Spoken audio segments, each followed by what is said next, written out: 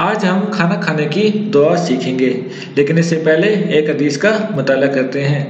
हज़रत उमर अबी सलमा रज़ी फरमाते हैं कि मैं बच्चा था और रसूल वसलम की परवरिश में था और खाते वक्त मेरा हाथ बर्तन में चारों तरफ़ घूमा करता। इसलिए आसम ने मुझे फरमाया, बेटे, बिस्मिल्लाह पढ़ लिया करो, दाने हाथ से खाया करो और बर्तन में वहाँ से खाया करो, जो जगह तुम्हारे नज़दीक हो। चनाचे इसके बाद मैं हमेशा इस हदायत के मुताबिक खाना खाता। इस हदीस के मुताबिक खाना खाने के आदाब मदरजाल हैं। नंबर एक, खाना खाने से पहले बिस्मिल्लाह पढ़नी चाहिए।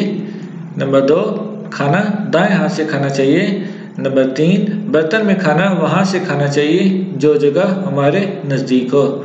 अब हम कारी साहब से खाना खाने की दुआ सीखते हैं। बिस्मिल्लाह बिस्मिल्लाह वअला बिस्मिल्लाह वअला बरकतिल्लाह।